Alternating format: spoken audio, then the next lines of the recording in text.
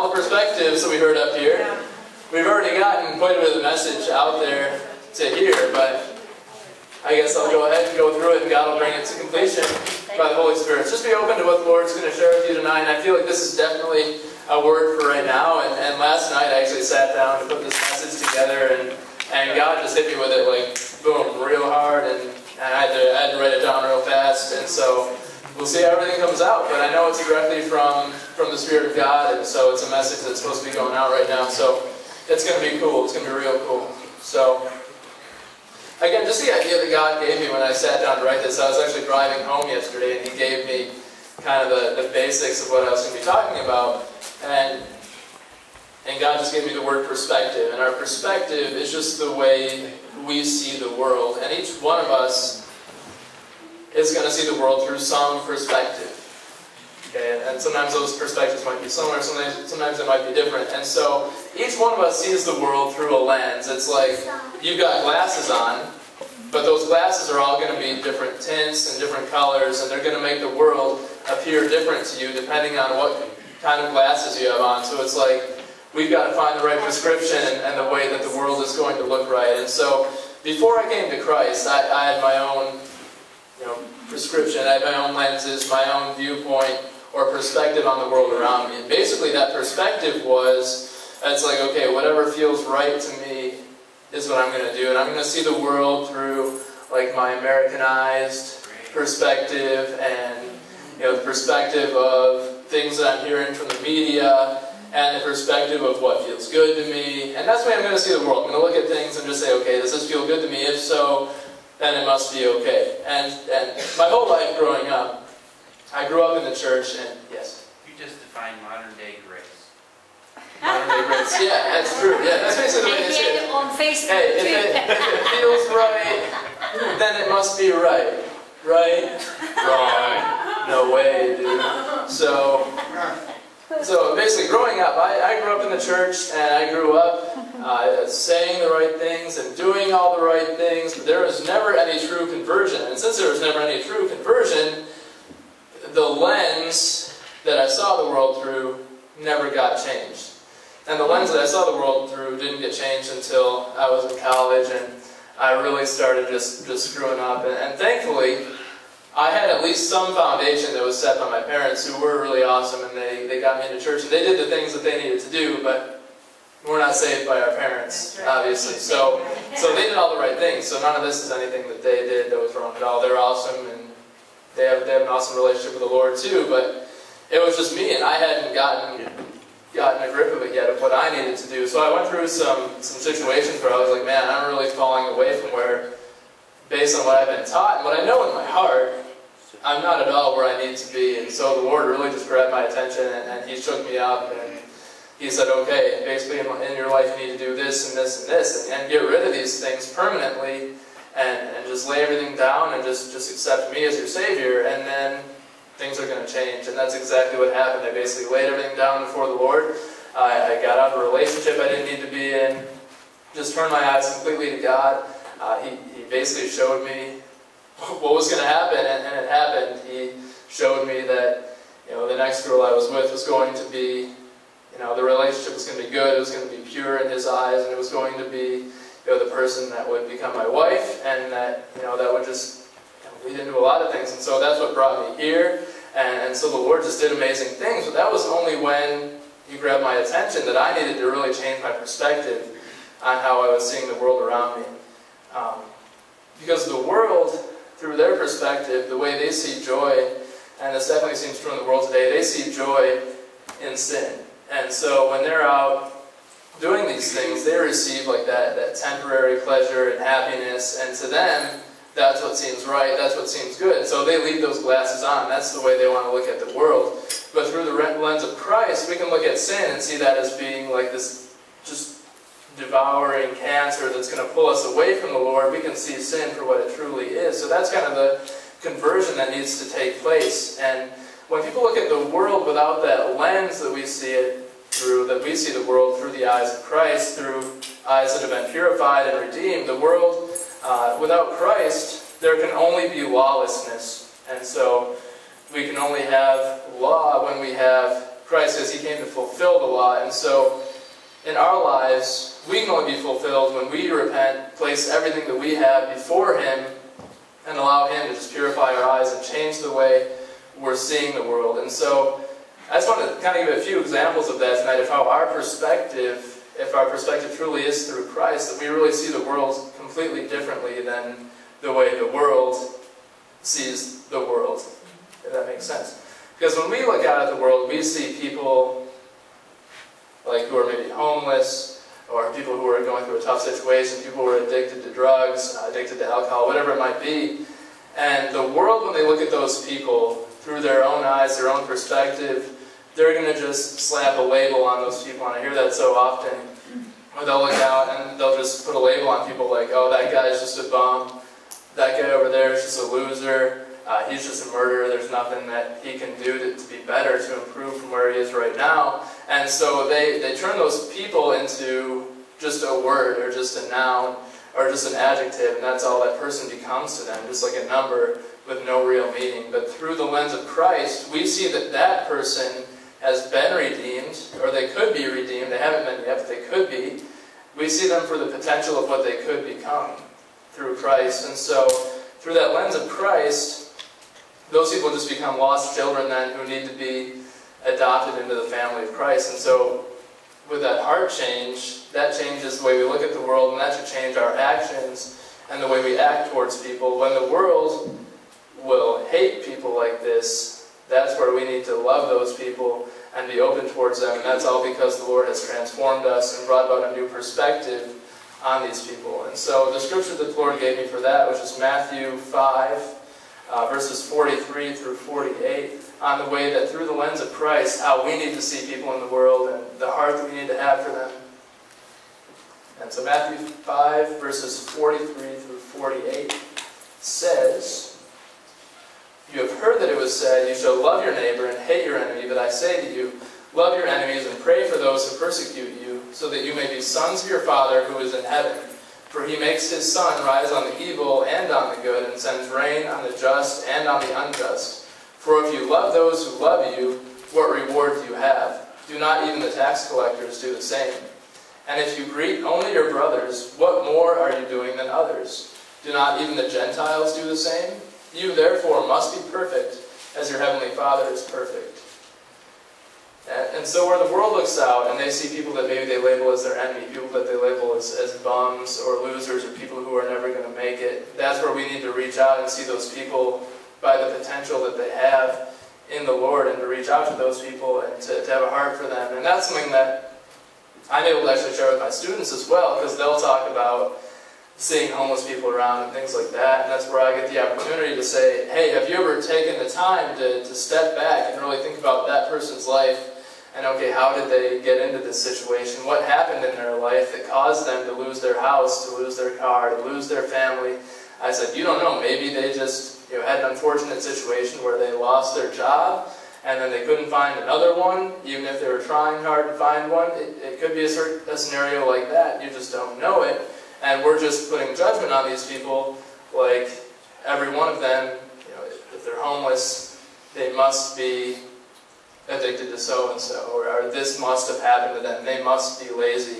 And the world tends to just slap labels on situations and say, it's got to be this way, where through the eyes of Christ, we know that we can't just make some judgment and say, this person must be going through this situation. We just, we just pray for that person and love that person and know that if we're seeing them through the eyes of Christ, we really see them for the potential that they have and not for what we're seeing at the moment. And that's where we can see some of the most amazing transformations happen are when the Lord takes somebody that's in that situation and brings them up and redeems them and, and just sets them in a place where they've never been before. And that's awesome. Uh, another one, where the world looks out and they see events right now, like Ebola going on, we've got natural disasters all over the place, we've got wars being fought all over the place, we can see right now, like whenever you watch the news or listen to the news, the world is just in a state of fear right now. And people are freaking out about Ebola, and because it, it, it could be a very serious thing. But when the world sees that, the initial reaction is just a fear and a panic and to just, just freak out. And so that's what the world is doing right now. The world is freaking out. So they abandon their hope when they see things like this happening. But when we see these events instead through the lens of Christ, okay, when we've got that lens on, okay, how would the Lord see this situation? How would He want His soldiers, us, in the army of God, how should we perform our duties in this situation? He wants us to go straight towards these events, not turn away from them, not abandon hope, knowing that this is a chance for us to pray for people who are struggling through these events and suffering with these things, and to stand up for people who are being killed, people who are being persecuted.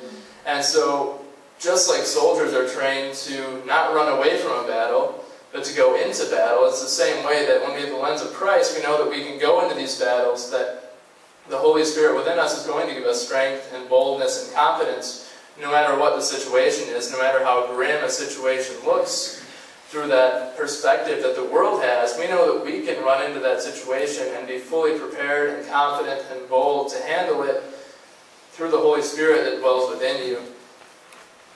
And that's just something that runs so contrary to the world. When we see events like this happening, it's really an awesome opportunity for the church to reach out because people are abandoning their hope, and hope is something that can only be found truly in the Lord. Amen. And, and so the scripture they showed me with this one is out of Isaiah 41, and it's verses 10 through 16. And these verses say, Fear not, for I am with you. Be not dismayed, for I am your God. I will strengthen you, I will help you, I will uphold you with my righteous right hand. Behold, all who are incensed against you shall be put to shame and confounded. Those who strive against you shall be as nothing and shall perish. You shall seek those who contend with you, but you shall not find them. Those who war against you shall be as nothing at all. For I, the Lord your God, hold your right hand. It is I who say to you, Fear not, I am the one who helps you. Fear not, you worm, you worm Jacob, you men of Israel. I am the one who helps you, declares the Lord. Your Redeemer is the Holy One of Israel. Behold, I make of you a threshing sledge, new, sharp, and having teeth. You shall thresh the mountains and crush them, and you shall make the hills like chaff. You shall winnow them, and the wind shall carry them away, and the tempest shall scatter them. And you shall rejoice in the Lord. In the Holy One of Israel you shall glory. So just allowing the Lord to use us, that He can be our confidence, that we can truly be like that threshing sledge, that basically anything that gets in our way, when we're being used by the Holy Spirit, when we have the power and confidence and boldness of the Holy Spirit, that all of that stuff is just going to be crushed and eaten alive. And that's a pretty awesome thing to, to be able to take a stand on. And that totally changes our perspective on events that we're seeing happen. We know that these are the Lord's promises to us. This isn't like the Lord saying, okay, maybe through me you can be powerful sometimes. You know, maybe. This is the Lord saying, when you have my spirit, okay, when you've truly been converted into my likeness, and this, you have this, okay? This is a promise for us that when events come our way that scare the world, we can stand tall in the Lord and be used by Him for His glory use us to, to really you know, change the atmosphere in the world and to bring people to hope, bring people into his kingdom. And so that's why even the situations that the world is going into, which, which look pretty grim when you have on that, like the glasses of the world, mm-hmm. seeing through those lenses, everything looks dark, everything looks grim, there's not very much good going on in the world right now. When you watch the news, everything seems dark and it's depressing. But when you put on the lens of Christ, you can see these things as opportunities for us as the body of Christ to step up. You know, we heard the song earlier that we want to be used as a soldier in the army of God. Well, if we really want this, then right now is the perfect time to be alive because we can see events happening all over the place where if we really want to step up and be a soldier for God, this is, this is the time to do it. Like more so than any Would say any of the previous generations before us, we've got opportunities that take, they take boldness, through the Holy Spirit, we have all of that that we need. And so if we're willing to take a stand, I really believe that God's going to use us in an awesome way. And so where the world sees a hopeless situation, we know that we can always have confidence because we know that through the lens of Christ, no matter what the situation is that we're in, we're already equipped with every weapon we need to rise up against that and to defeat the enemy, to be more than just a conqueror, to, to, to be that through Christ.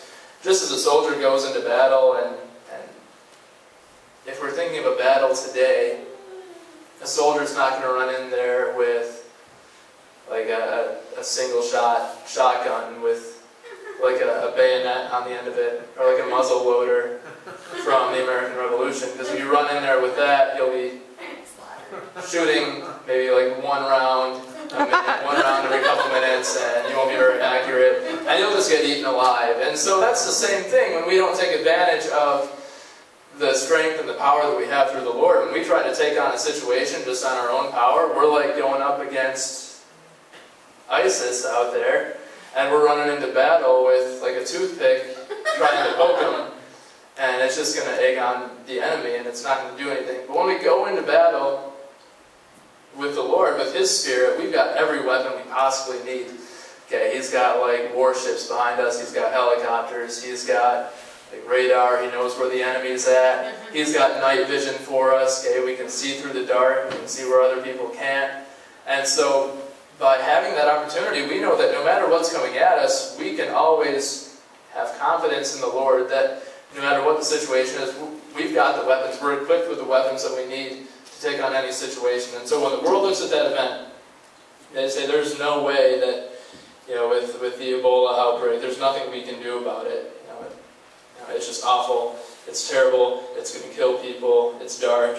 It's you know, just something to freak out about for them. But for us, through Christ, we know that we're equipped with weapons where the Lord can use us to fight back against that, to fight back against the evil in the world, that we have those weapons to do that. We just need to open ourselves and be willing and be willing to move and act upon His commands and His orders for us, and we're going to be triumphant in battle, and that's pretty sweet. So I want to read Isaiah 54, 16 and 17 here. Which says, Behold, I have created the smith who blows the fire of coals and produces a weapon for its purpose. I have also created the ravager to destroy. No weapon that is fashioned against you shall succeed, and you shall refute every tongue that rises against you in judgment. This is the heritage of the servants of the Lord, and their vindication from me, declares the Lord. So, no weapon that's formed against us is ever going to succeed. But every weapon that's formed for us that's through the Lord that we're using by His power is going to be exactly what we need to take on these situations and to overcome the enemy. And so at this point when I was getting, when I was writing this stuff down on the little Chromebook here, the Lord just kind of hit me with a message about just taking up our weapons and so I wrote it down as quick as I could. So I haven't actually looked through it again since I wrote it down. So I'll look and see what the Lord says here. So the Lord is saying to us, He says, protect what you have been given against the attacks of the enemy, but be ready to use it. So basically, make sure that you protect those weapons, that you do proper upkeep, that you, like if you're a soldier, you need to, you can't just set your gun down and, and leave it there to, you know, get water on it and get sand in there. You know, it's not going to work properly. So to, to do proper upkeep on your weapons, be ready to use them, protect them, because the Lord did not give us weapons just to leave them to sit there and let them rust. The Lord is going to need to use those weapons, and we need to be ready for whenever that time is going to come. So the Lord said, Stand up, pick up your weapons, and be ready for the fight of your life. A time is coming in which your weapons will be used as never before. To the world, this will be a time of nearly complete darkness. You will be my light. If you keep sitting on your weapons, there are people who will suffer and perish because you are not willing to take a stand for me. I will raise up soldiers that the world would not recognize as soldiers, but through them I will work the greatest of miracles. Those who have been persecuted will rise up in my strength and bring forth my kingdom. My kingdom has already been placed in you. You must lay yourself down and follow me wholeheartedly. Sacrifice any and all things that come between us. There is no longer room for extra baggage on this journey. Lay the weight of your burdens on me, and I will carry it. Stand up, Pick up your weapons, sharpen the blades, and go into battle under my command. And, and so I really just feel like this is the time. Like if we're going to stand up and be ready to fight, be ready for warfare, the time is right now because we're, we're, we're coming down to it and we know that, that you know, things keep, keep ramping up. And so if we're not taking the chance right now to lay down that extra baggage, like if you're a soldier who's about to go into battle, you don't want to be carrying any extra weight. That's just going to make it that much easier for the enemy to take you down. And so we have to make sure that we lay down everything that's not from the Lord, that's not a weapon that He wants us to be using. Because when I'm running into battle, I want to be you know, just wearing the proper armor that I'm supposed to have, right? Just nice lightweight armor, running in, carrying an effective weapon, and knowing what my job is, and, and allowing myself to be used to do that.